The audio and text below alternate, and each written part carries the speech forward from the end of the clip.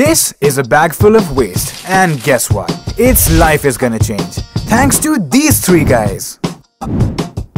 Oh, wait, you don't know them. Well, sorry, I forgot. Let me tell you the whole story. It all started with this guy, Sandeep Patel. He studied in London and came back to India in 2002. He liked waste management, but he did not do that. We'll come back to it later. Between 2002 and 2011, he set up a travel agency, a BPO, a chemical trading unit, but guess what? In 2011, he shut down everything and started waste management. Everyone said,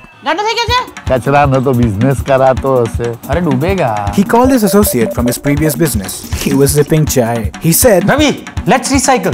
Sakhat. Just for your information, everyone calls him Dada Bhai. And they started Nepra, one of India's leading dry waste management companies.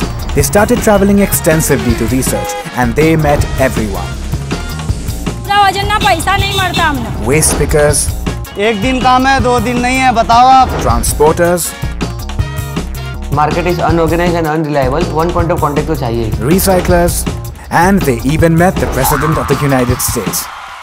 नहीं, मजाक कर रहा हूँ. They realized that the waste management market was unorganized and unstructured. They needed to solve this. We need technology for transparency and scale. For recyclers, we need one point of contact. and fair payment and bigger waste generators.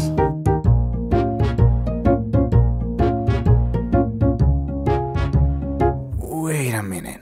Who's this guy? Dhrumin Patel. Alright. So, they got bigger waste generators like hotels, malls, restaurants, industries on board, and they structured the middle part by bringing transparency and inclusion for waste pickers. And all this was synchronized and managed by a software that they developed themselves. They became a platform.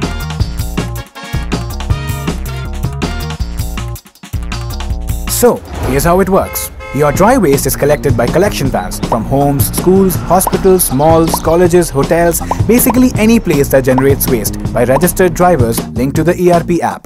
They collect dry waste from registered waste pickers thus at zero, input their items and pay them a fair price. The entire process is controlled, monitored and live tracked from the support office the entire value chain involved is effectively put to use with fair payouts. By the time the truck reaches the facility, all the information is updated in real time and cross-checked by the supervisor. From there, the bags are unloaded and fed to the machinery.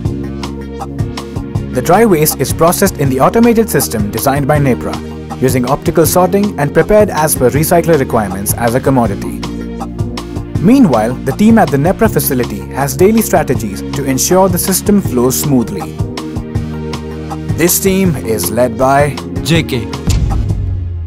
the segregated items arrive at the post-sorting belt for final segregation and quality check. Finally, different items arrive at the baling area. They are compressed or shredded and the material is ready for dispatch. Out of the total input, 90% is recycled into various commodities like t-shirts, pipes, buckets, garbage bags, etc. And the remaining 10% is sent to the cement companies as refuse derived fuel. This means zero waste.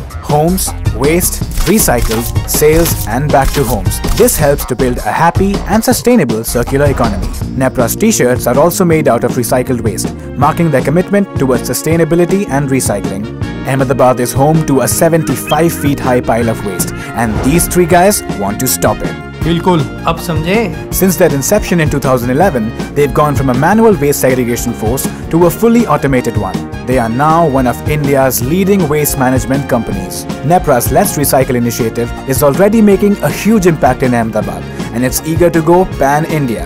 By 2025, they will be in 25 cities, working with over 50,000 waste pickers. So, Whenever you think of dry waste, think Nepra.